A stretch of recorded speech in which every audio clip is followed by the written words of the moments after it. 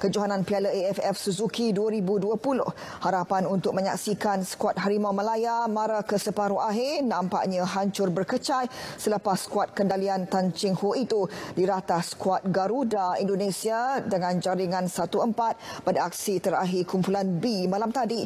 Kekalahan itu sekaligus menyaksikan Malaysia menamatkan saingan dengan enam mata di tangga ketiga di belakang Indonesia dan Vietnam yang mengumpul 10 mata.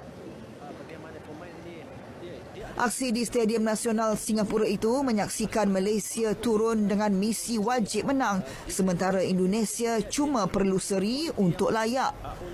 Harimau Malaya bermula cemerlang apabila merobek gawang Indonesia seawal minit ke-13 melalui rembatan padu pemain tengah Arkogiles Warren dari keluar kotak penalti.